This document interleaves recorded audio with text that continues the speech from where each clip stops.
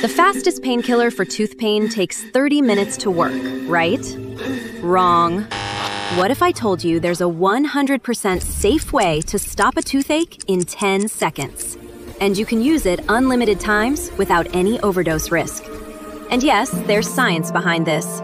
Cold water slows down nerve signals, shrinks swelling, and temporarily blocks pain. Instant relief without any drugs. Grab a glass of cold water, take a sip, and swish it directly over the aching tooth. Hold until it warms up. Spit it out, repeat as needed.